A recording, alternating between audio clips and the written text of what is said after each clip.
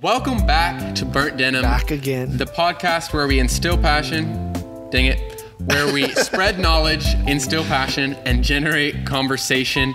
My name is Max, My name is Nick. and we are so glad to be here. We are your co hosts.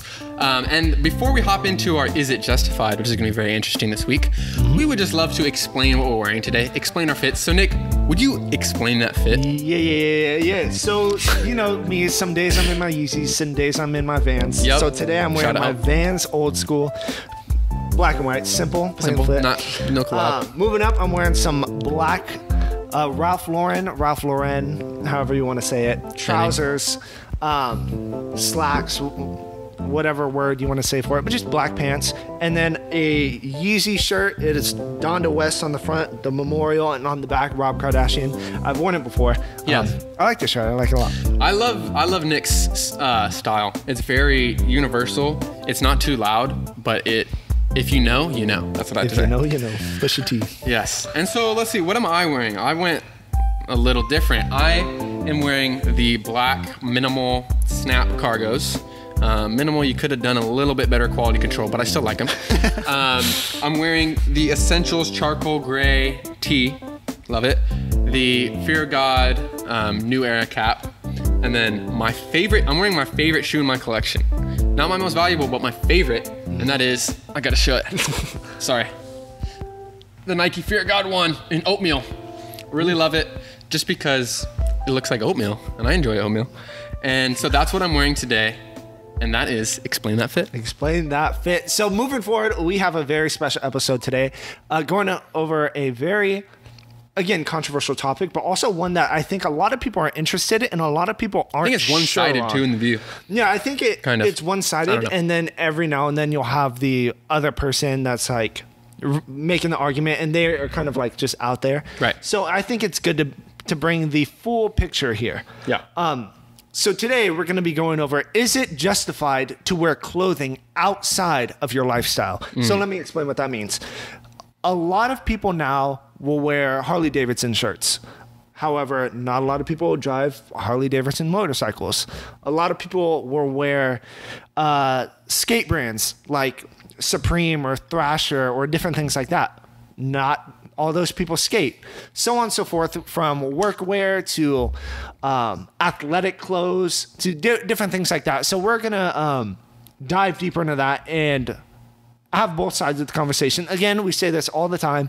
Our arguments are not necessarily representative of what we truly believe. We're just trying to give you guys the full conversation, explain to you guys both sides, just have constructive dialogue Yep. around the conversation. It's Again, that third part of our mantra, generate conversation. That's what we're trying to do. And as always, make sure to comment, like, subscribe, whatever it is, so we can get your feedback on this as well too.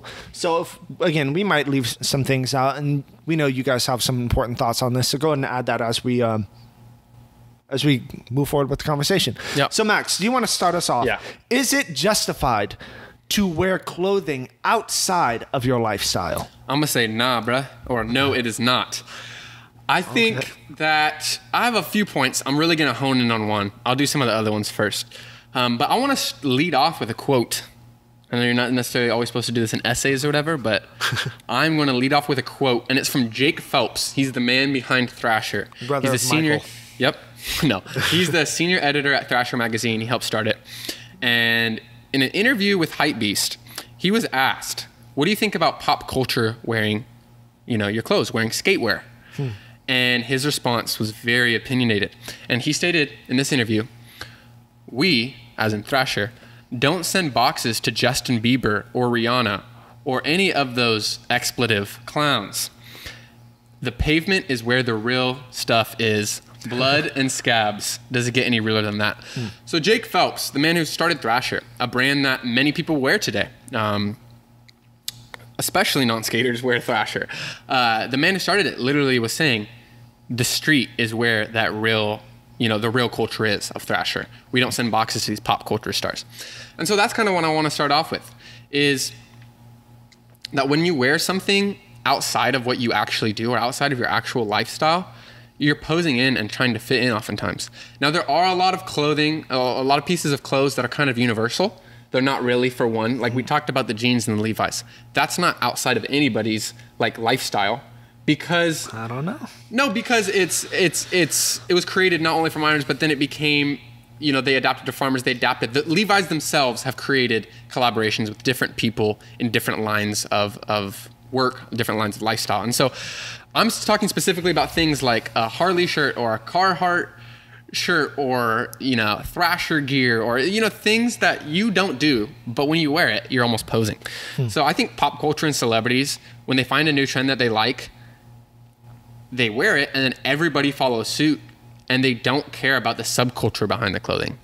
You know, they see a celebrity wear it, they see a celebrity wear a piece of Carhartt, you know, Kanye's been doing that, or they Yeah. see a celebrity wear a Thrasher shirt and they're like, I need to wear it.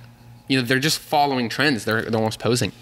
Um, and a good analogy to this is it's like the person who lives in Southern California who has a surf rack on their car, but they never surf you're really posing. You, when you wear these clothing that's outside of your lifestyle, you're pretending to be somebody that you're not. And I think at the same time, you subconsciously convince yourself that you're a part of that sub- subculture. And that you, you almost like find security in clothing, which is not a healthy thing.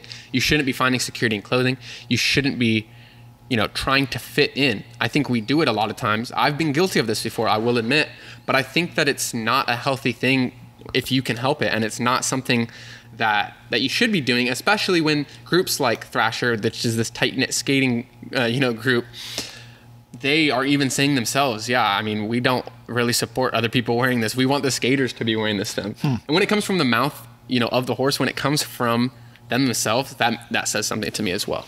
And and you know, if I'm sure if you asked a biker who is a Harley, you know, rider, with all these people wearing Harley, they'd be like, I mean, they probably don't care because they just want to ride, but they're like, yeah, they're posing. I don't know. Here, here's the thing about trends and the nature of trends. A lot of people are very anti-trend right now. Um, But that's a trend And my thought on this is that if you liking things just because they're popular, I don't think that's good. But disliking things because they're popular, I think is equally bad. And I think a lot of people do that to where people are like, oh, it's just popular. So, you know, I don't like it. I want to be different. I don't think that's good either because that has nothing to do with your actual thoughts and your actual reflections. The thing about trends, they are not good or bad in and of themselves. They present can be. they present new ideas to different people. For example, um, for example, when skinny jeans are a trend, there are people that would never wear skinny jeans. It becomes a trend, and they are exposed to a new cut. I don't think You know- though. I would say, sorry to interject. I would say that trends don't introduce something new. They can, but oftentimes they resurface something that was already popular at one point. They cycle. So I don't think the purpose of trends is to necessarily introduce something new. I think it's to get people to feel comfortable and to fit in, Right. to get people, you know, not force them to actually like. But even then, it's new to that people. So like a 17 year old, like a, not 17, like imagine like someone's like 13 and then they see things from the 90s, then it's new to them. So that's saying you were never born in the 90s, so you can never like anything It's true. interesting No, I'm to just that. kidding. I. Um, also, too, with Harley, if you never ride a motorcycle and you have never been exposed to Harley in the first place, and you see a T-shirt Harley, and then you buy that, and then it gets you invested into the brand, like from that way, it's kind of like a new think- track to kind of lead you into that subculture. If, if you Yeah, I don't, don't think- if but you I- don't I have disagree with access that. to it ever, Sorry, then hold on. how are you supposed Hold to on. get into it in the first place? Uh, You just said that it gives you a track to lead you into that subculture. I guarantee you, people who are wearing Harley, a lot of people are wearing Harley now that are either teenagers or just people who are like wearing it uh, with this mass popularity are not wearing it because they want to become a part of the biking subculture. I can 99% guarantee that. I think that when people wear it, there are people who wear it because they like the graphic, but so many people are wearing it because it's what's popular. This is a whole conversation on popularity and fitting in, and I think that that can be dangerous. And um, if you're wearing it simply because you truly, truly like the graphic, that's different. But I think if you really look deep down, a lot of people are wearing it to fit in. I think people wear a lot of things to fit in, and I think it takes a special you know kind of person to be able to break from the trends but that's what should happen and and and you said being anti pop or anti um, trend can be a bad thing. I, yeah, it is bad. I don't think it's bad. I think being anti-trend forces you to get outside of what's popular now and look to the future. But here's the thing being anti trend means that your style is always subject to trends because when a trend comes up, you're like, I don't like that just because it's a trend. So I'm going to do something completely I think opposite. okay. I think that, if you're right? anti all trends, that's bad. But you can be anti specific trends. You can be anti trend of wearing things outside of your work, which is what we're talking about. Wearing things outside of your lifestyle. don't know. So I think. So Nick, I'm about to pull a real big gun on you. I I'm about to pull out. A. I'm about to pull a secret weapon out. Psychology. Okay, Oh you can't gosh. argue with this. I found an article by Brain Fodder, which is a website about psychology science. Just gives you little digestible bits. It Um, seems um, I know. Oh, you want me to reject you? I looked up the author and everything. It's trustworthy. Okay. Seven ways. I read an article called Seven Ways Your Clothes Change the Way You Think. Okay. I read this. I did my research, people. And one of the points was that um, certain clothing, and it was, it was about like um, fitting in and and wearing clothes to kind of you know with what the norm is, and uh, they they were saying that certain clothing can actually activate specific knowledge and determines our our expectations and how we think. So they did an experiment that showed that a participant that simply wore a lab coat when doing uh, a task would actually pay more attention and they ended up making less mistakes. So subconsciously, clothing determines um, like how you act, how you think, what your expectations are. And I'm going to tie this in. I know you're probably wondering. Therefore, wearing clothing from from companies like Harley or Thrasher when you don't skate, you don't bike, can subconsciously make you feel as though you are a part of that subculture when in fact you are not. Yeah. So, oh, what are you going to say back to this? So Go I. ahead. oh my gosh. So Go ahead. literally, psychology shows that when you wear certain clothing, it changes how you act. I mean, that seems pretty logical outside of it, but but it shows specifically that you think that you become a that you become a part of that subculture, and so I think that can be dangerous too because you're gonna subconsciously think that you can skate well. Like you may not say it out loud, but subconsciously you're gonna be like, I could skate if I need to, or I could bike. When you can't, I'm sorry, people. If you want to get into that, that's different. But Right. So I'm about to flip the switch on you. I think what you gave me actually supports my argument.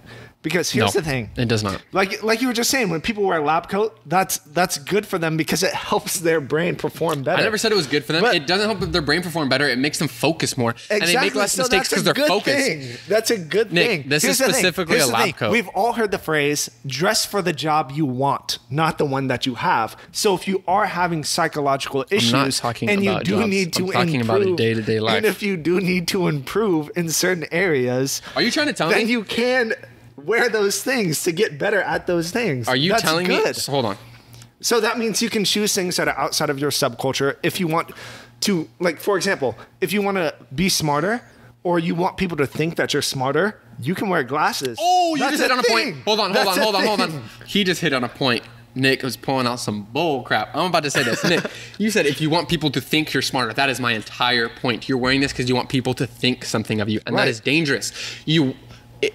Nick also tried to say that it's an outlet to this subculture and that you can become better at it. Again, how many people are wearing Carhartt because they're doing hard labor? How many people are wearing Harley because they're biking? How many people are wearing don't Thrasher know. because they go to the skate park? Come on, man. I'm saying that it is dangerous because you're trying to fit in. If you want to be a part of that subculture, I'm not saying don't be a part of that. I'm saying be a part of it and then wear the stuff. Right. So here, here's the thing. Let's, let's stick to that glasses thing because I think it's representative of, of a bigger right, argument. let's stick to it. people are naturally judgmental. Like psychologically, you don't have the capacity to get to everyone to get to know everyone on a deep level. So you have to make those quick snap Biases. judgments. You have about- biases. exactly. So when it comes to glasses, if I'm going to a job interview that is like something Nick, like that, I understand the job interview thing. I'm talking about- we're not talking present about that. yourself well to a certain like group.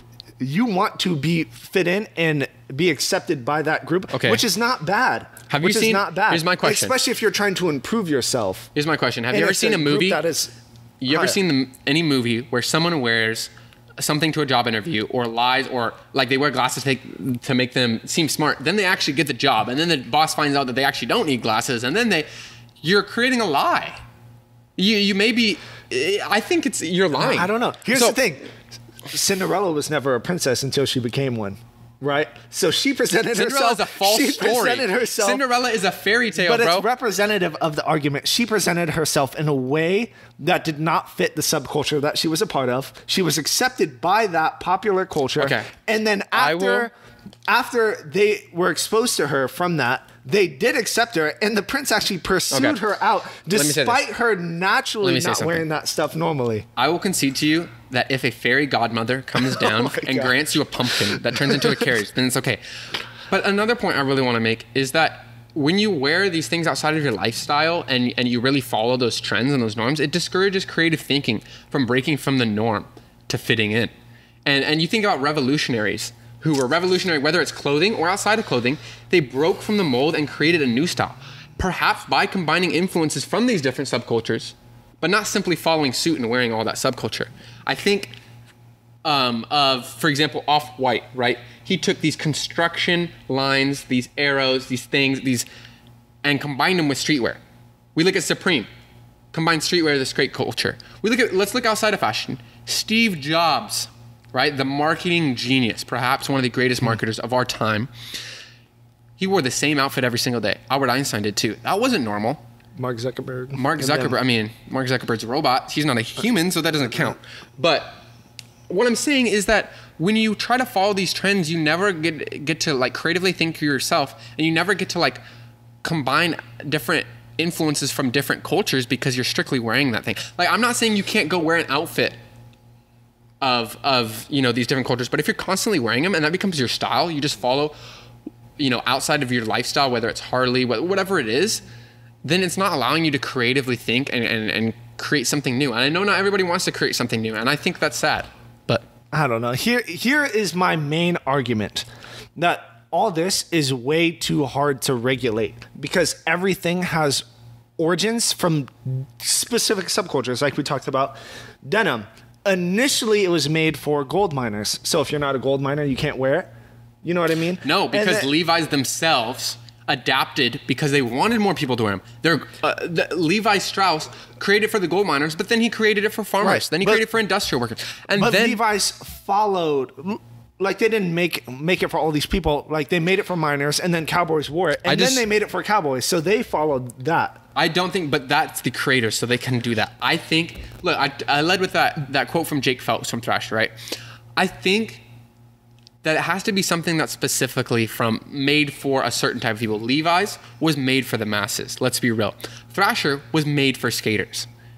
Carhartt was made for people Right, who work. but- Harley was made for bikers. Here's the thing: those Levi's is an extreme situation. What if it comes to something like that? That's functional in other areas of life. Like what? You know, like a baseball hat. You know, a baseball hat. You know, Those you are can made for the fans, even, though, Even if you well. don't wear baseball, Those are made for the fans They as well. They wear them on on the field. they do, but they also make them for the fans. Okay. That's an intent. Then what about things like basketball shorts if you don't play basketball? Tennis shoes if you don't play tennis. Okay, tennis shoes don't even pull that one Soccer up. sweats. That's weak. Different things like that. All these different things were made for specific groups and then they were adopted by other groups that became popular. So why can that not apply to specific brands like Harley, like Carhartt, especially if other people are being introduced to those things for the first time and they genuinely like the aesthetic. Right. If you like the look, but you're not a part of the subculture, does that mean that you can't enjoy No, the look for what it is? I, I think you can enjoy it for what it is, but I think oftentimes you're you're wearing it to fit in, and I think you're wearing it even it could even be subconsciously. And like I said, I've been guilty of this. I know you've been guilty of this. We've all been guilty of this.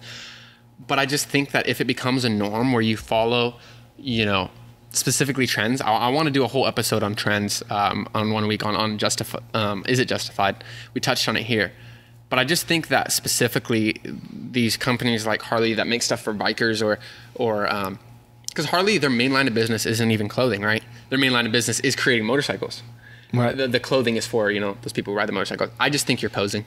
I just think that you're you're pretending to be something you're not, and I think that a lot of listeners right now could also see that that you, that you're trying to pose, you're trying to be something that you're not. You're trying to subconsciously convince yourself that you're a part of that subculture, or make people think so, like First Encounter, you know. Um, but I, I guess we'll have to let the people decide. Yeah.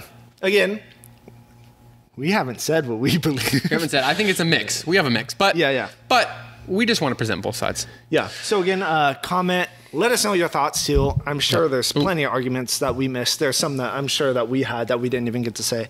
Right. Um, so let us know because we want your feedback. Again, say it every single episode. Burnt denim does not end with me and Max. It is a community thing that you are a part of also. Yes. So please give us feedback. Yep.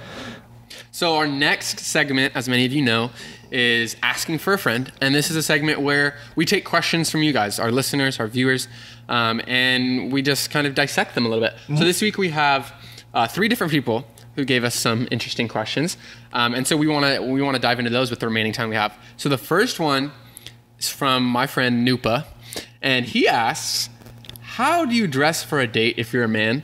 I think his specific words were, "How do you get the drip for the chicks?" So, so we just thought we'd word it a little nice. So, um, so Nick, do you want to start off? If how would you dress for a date if you're a man to make a good um, impression? This kind of relates to our conversation. right. Not posing, but like, how would you dress? Right. So a couple things. I think it depends maybe on the subculture you're part of. No, get outta Um, here.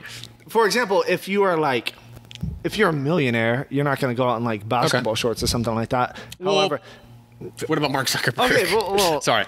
I, I think what I'm trying to say is it has to fit the occasion and Okay. what your guys Yeah. are doing. So again, if you're going to the river, like we can't make this blanket statement and be like, you know, wear a tuxedo because you want to look good. No, if you're going to the river to go Yeah. like kayaking or something like that for the first date, you want to like dress to the occasion. If you're going to the movies, um, you want to dress to the occasion. If Yep. you're going out to dinner at somewhere fancy, you want to fit that environment. So I guess it all depends on what you guys are doing for the first date. Yeah, yeah, I agree too. I think uh, it definitely is situational, mm, but I think there are some overarching concepts that can Right. apply. I think you should always look like you put thought into it, right? That seems that could go without saying, but you don't want to look sloppy. You don't want to look like you threw it together last minute. Um, and I'm also not saying you know you need to spend hours agonizing over it, but it is important to to dress nice and to put thought Right. into what you're wearing. Uh, even if you wouldn't call yourself like a fashionista or fashion enthusiast, you need to put time into what you're wearing. So if you're going out to a nice restaurant, put on some nice slacks, some nice pants, Yeah. some dress shoes, a nice button up, make sure it's ironed. You know, I think ironing, you know, I think that's a blanket statement too. Even if you're wearing a t-shirt, ironing is so important. Mm-hmm. Making sure that it's not wrinkly because that is a telltale sign that you don't care about what that you you like. present yourself well, that you are grooming. You know, I've even- it's, it's like a deeper thing. But also too, I'd say if you are going to be wrong, meaning I don't know what I'm gonna wear, so I have two options. I can either underdress or overdress. I'd say overdress. Overdress, yes, Um, overdress. I, that's that's my thoughts on that. I think, yeah, yeah, and and like uh, I've even back to the ironing thing. I've even ironed like vintage clothing um, that had wrinkles in it. Like it doesn't. Some people may not do that, but I think when you iron and there's no wrinkles, you just look nice. So I think that's another overarching thing. Um, and also, don't be afraid to be yourself. Uh, that Right. sounds so cheesy, and it sounds like it's in a self-help book or something, but it's so true when you dress. Um, don't try to dress i mean dress nice and follow some principles but don't try to be someone you're not right? Like if you're if you're on a casual date wear the clothing that you Right. like. If it's jordans and you know cargo shorts and this okay. Um, or if you are if you always dress up then dress up you know? Be yourself, i think it's different what's when you really go to a restaurant that has you know Like guidelines Roots, Roots Chris, like you have to wear. right. Like don't don't be wearing like you know. But um but don't be afraid to be yourself make sure you iron and that there's no wrinkles in there and make sure you dress to the occasion. Yeah, that's that's a great question because I think a lot of people are curious. Yeah, thank you, Nupa, for that. Love you. Um, next question is from Maddie Samodurov. She asks, "Is Champion worth it? Because it used to be so cheap, but now it's so expensive." So we are going to do. We will do an episode on Champion and their rise to prominence and to what they are today. Um, but this is kind of just a general question. Nick, do you think it's worth it? I think vintage champion is worth it. Here's Hmm. the thing about champion is like there there's layers to it that a lot of people don't know. We'll go over this in the episode, but champion literally invented the hoodie. Yeah, a lot of people don't know that. That's a very interesting fact so too. so champion vintage champion it has the best like fit and quality and sometimes the best fade because they- they've naturally just been around longer so that's how it plays out so i'd say vintage champion like a vintage champion hoodie i definitely would pay like A good amount for it. a good amount for Yeah. um, just because it it fits so well and it works with so many other things and the quality is so high. Yeah. But I think a lot of people think like when you think of old champion to the average person, they'll think of Walmart champion. Right. So I think there's layers. We're There's talking a- further back. There's a vintage high quality champion hoodie. Then there's a Walmart champion with the weird C. And Yeah, the now there's like C9 the, or whatever. There's like the like it's like a C and then like another thing. Yeah, like nine or something. Yeah, yeah. So there's that, and then there's what's now I I consider like the PacSun champion. Yes. To where they just have like random throw the logo on and charge people like fifty dollars Yeah. for a T-shirt. So Yes. I'd say vintage champion, yes. Walmart champion, no. PacSun champion, I'd say no to that as well. Yes. I think Nick uh, hit the nail on the head. Um, if you're going to find that vintage piece, that's a historical piece as well because it's uh, an original hoodie or it's something like that. And, and I think um, a lot of prominent music artists too also print their merch on champion hoodies, on champion Yeah. blanks, uh, you know, along with Guild and these other ones. Um, so I think I'm gonna uh, basically side with Nick on no. I don't really like the the PacSun Champion. I don't think it's worth it. I think you can find a For lot sure. of cooler brands for or vintage stuff for cheaper, um, and it just looks tacky Yeah. to me and very t- uh, too colorful. Also with that, um, you know, Walmart Champion. If you're getting it for a pair of running shorts, it's pretty cheap, sure, but it's not also like really worth it. Um, I think it is worth it again if it's vintage or if it is a uh, was printed on a champion blank and it, it has significance to you, like it was Right. a concert you went to, or it was a Yeah. a piece of So you know, if you have merch. sixty dollars to spend, go on like Depop or eBay or something like that. Buy like an eighties, nineties champion hoodie. Yeah. Versus like a brand new PacSun hoodie. Right. Tha- that's my thoughts on that. I would agree too. Thank Again, you, good question, for good that question. question. Thank you, Maddie. Our final question is a very, very, very important and interesting one, and this comes Yeah. from Emily Wadsworth. She says, "Have you ever bought a piece of clothing that you regretted later? How do you avoid this? And is it possible? Is it actually possible to buy timeless pieces?" Right. So, Nick, do you want to start off with uh, have you ever have you ever bought a piece of clothing that you regretted later? Oh yeah, definitely. Okay. Um, Can you tell me about it? yeah, I'm trying to think of a specific thing um, that I bought that I'm like, um, I guess it could be shoes too. It doesn't just have to be clothing. yeah. Um, oh yeah, okay, okay. I got one. So I, I, remember. Um, so first, my thoughts on this is: Have you ever bought a piece of clothing that you regretted later? Yeah. Yes. Um, with me, I've there's like a little while where I just buy like a whole bunch of like random Supreme things. If you haven't listened to our last episode, it was on Supreme, so go check that out too. But also, I'd buy Supreme things just because it was Supreme, not Yep. knowing like the actual thing, because I was like just starting to get into like knowing a lot about fashion, um, knowing a lot about streetwear, realizing when Supreme does the their releases and stuff. So I would buy like a T-shirt just because it was T-shirt. And one of the interesting things about Supreme is it sells out so fast that you have to be so quick with buying things on the website and whatever color basically you can get. Yeah. So me, it's like one of my first Supreme releases where I'm trying to get something like a cool T-shirt that I found. I go on um, eight o'clock, whatever it is. I'm like looking. I go on a T-shirt that I want, sold out in the color that I want. Oh. So I go to like. I go to like a hot pink color, and I'm Come like, on now. well, it's still there, so I need to get it while I have a chance. And it was very like an impulse decision, so. I got it. And then eventually, like I got it like in hand. I'm like, okay, I'm definitely never gonna wear this. Right. This doesn't fit anything that I have. Um, I thought it was cool in the moment, and it was an impulse decision. But if I wore this, it it would be one of those things like I'd be uncomfortable wearing it, and I don't think you should wear things that are so outside of your style that you are uncomfortable and that you're walking around constantly like, dang, like this is like trash, you know, like this doesn't even fit me. But He's supporting my but anyways, it's more so like a comfortable thing, um, because there's been times like I've bought something just because I thought it was like cool and like expensive, but I actually didn't like Like it. like that item even that item in specific. Listen up, people. Um, anyways, so I, I think there's that aspect. But on the other side, I think the cool thing about fashion is that it's always changing, always developing, and Yep. your personal style is changing as well. That goes back to my thoughts about trends. When you are developing your fashion style, you don't have one in the first place. So there's literally trial and error versus the fits that you like, the brands that you like, uh, the colors that work best with you, um, the pieces that fit subcultures that you are interested in, want to be a part of.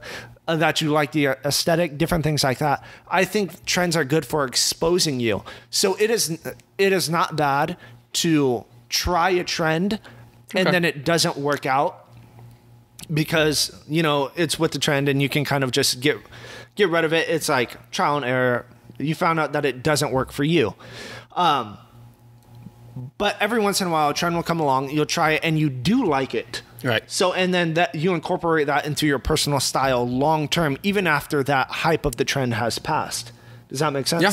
so for example uh, nike dunks super popular right now for better or for worse i'd say better because it's exposing people to that that may have not been exposed before so you can like a nike dunk get it and then the hype behind it goes away but you were exposed to that and i like nike dunks that fit me so yes i will wear it in the future So back to the question: Do you think it's possible to buy timeless pieces? uh, i think it is but with that it has to be trial and error and you have to Develop, de- have develop your style, decide what you like, it fits Okay. your body the best.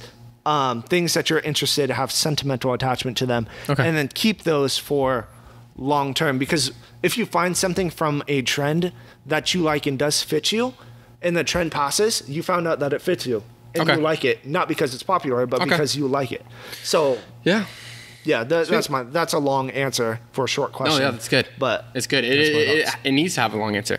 And I think also I have um, bought shoe. Well, I don't think I've honestly bought clothing just uh, that I regretted just because of how my style is. Um, that sounds so arrogant. I don't mean it that way. I just think I personally haven't regretted. But shoes, yes. I sold a pair of Fear God Vans that I waited hours in line for. I sold them. I wish I hadn't sold them. Biggest fashion regret. And I bought a pair. I literally sold them to buy a new pair. I was like, I can get a new pair. But it was a pair that I don't even like that much. The red ones, the red slip-ons. So that was a big regret. Um, and I've had other ones here and there, just like certain shoes, like maybe even my off-white blazers because they could be fake. But um, I've had certain I've had certain regrets. Let's not touch on that. Um, but yes, I have topic. had I have had regrets, and I think you avoid this, like Nick said, being able to define what your style is, Right. figure that out through trial and error, and use that lens to kind of determine how you purchase things in the future. And with the question, my longest response will probably be to this question Is it possible to buy timeless pieces? And I have a strong opinion on this. I think yes, it is. And there's one main factor that determines a timeless piece to me, and that is the absence of logos. So this is just hmm. an opinion from Yeah. me. I think timeless pieces can be timeless due to the silhouette. I think if you're buying a piece because of the logo or the graphic, it won't be timeless because either that trend will pass and um, not only the trend may pass, but your style may actually change. Right. Um, in, in what you like graphics and what uh, logos you like and what brands you like. So I think when you buy pieces that either have a small logo or are unbranded Mm-hmm. and not obvious as to what the company is that made it, I think that can be timeless because you're really relying on the silhouette. You're really relying on the shape. You're relying on um, the color of the garment. You're relying on how it how it fits on your body. So I think that can really be timeless. I have pieces that. Um, I've bought from years ago that I still love to wear because of how they fit, not because of the logo, not because of the branding on it or the, what was hype at that time, but because the silhouette is nice. It looks good. And um, so I think when you buy timeless pieces, you should be looking for. I think it's cool to buy trendy, Yeah. certain in the moment pieces with graphics on them. But if you're looking to buy Right. a timeless piece, buy one that isn't branded, buy one that is just a shape. I, I also think too there's there's a whole money aspect between like if it's a low investment thing, like if it's a trend and it's a twenty dollar thing to Right. be a part of the trend, then it's like don't worry about like it not being timeless or it not Right. fitting into your style because it's such a low investment. I think when it's things like I don't know, however much is a lot of money to you. For me, maybe like fifty dollars plus. I really need to think, think Yep. through: Do I want this Yep. item? Because it's like a like a significant amount of investment. Like no matter And- how small it is or big to you relatively, Yeah. it is a sacrifice for me to get that. So there's sort of like tests that I do practically to figure that out. One that I've done before is the dollar per wear. Okay. so that's like one would I if I buy things for fifty dollars, will I wear it fifty times? If the answer is yes, then that's a good way to avoid it. Um, also, too, not buying it immediately when you see it because honestly, Yes. a lot of our Yes, purchases, don't buy it immediately. A lot of our Come purchases are, are out of emotion, Instinctive. Whether that's fear of it not being available, whether that's like hype in the moment where someone's like. You're, you're interested, but also someone's like hyping it, but oh, you need to get it, you need to get it. Like all these different things, like fear of missing out, like all these different Yeah. aspects that go into it. Wait like a week. Yeah. If I would after do that that, too. week you still want it, Yes. and it's not like a fleeting passion, yes. then it's a little more justified to It go takes for patience. it too. It Right. really does. And and back uh, like just ending with the with the timeless idea. Look at the pieces that are timeless regarded among culture. Right. The Air Force One, Stan Smiths, um, Timbs. Timbs, uh, jeans, Right. the white T-shirt. These things Like a aren't denim branded. jacket. Even an Air Force One, you, you can't even see the logo from that far away because it's Yeah. white. But Al- also ask in a year, in two years from now, will I still wear this? A lot of the times the answer will be no, No. and then it's like honestly, it's not even a worthy investment. But don't So I- but also, you know, buy some fun pieces then in the moment. Don't only buy timeless pieces. So, but your your Right. staple should be. But anyway, thank you, Emily, for that question. Um, thank you, everybody who continues to ask questions. We will post um, this Yep. next week on our story, uh, asking you for questions, and we'd love your responses so we can answer them. Yeah. So again, thank you guys Yep. for listening. Uh, if you're watching through YouTube, go ahead and like, comment, subscribe. Uh, we'd love your feedback. We'd love to boost the algorithm to get this out here. Because Yeah. again, every episode it doesn't end with me and Max. Burnt Denim is a community thing. We want your feedback and be able to spread this knowledge to other people as well. Yes. Just push forward this conversation and dialogue. Yep. Um, if you're listening to this, check us out on Instagram at Burnt Denim. At Burnt Uh, Denim, baby. Follow us, something. repost. We're going to be posting something to where we can get your feedback on is it justified to wear clothing out outside of your culture, No lifestyle. uh, outside of your lifestyle, um, and also we did that one last was a week. um, and also too different questions that you guys may have. So Yes. we'd love to get connected with you, get to know you more, and have some of you guys and more Yeah. of your guys' thoughts on the podcast through there. Um, so again, thank you guys. We love you. Thank you so much for listening. We'll see you next week. We appreciate you.